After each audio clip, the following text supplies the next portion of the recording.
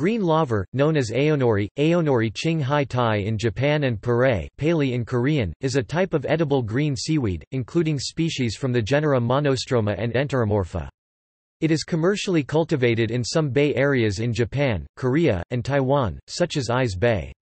It is rich in minerals such as calcium, magnesium, lithium, vitamins, and amino acids such as methionine. It is also called AOSA Aosa in some places in Japan.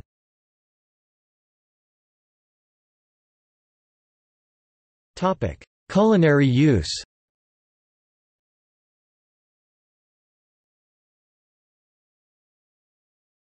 Topic: Japan It is used in its dried form for Japanese soups, tempura, and material for manufacturing dried nori and tsukudani and rice.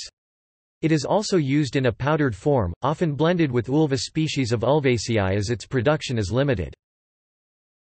It is used commonly for flavoring of some Japanese foods, usually by sprinkling the powder on the hot food, for its aroma. Fried noodles yakisoba or yakiudon. Okonomiyaki Japanese pancake. Takoyaki octopus dumpling ball. Isobe age.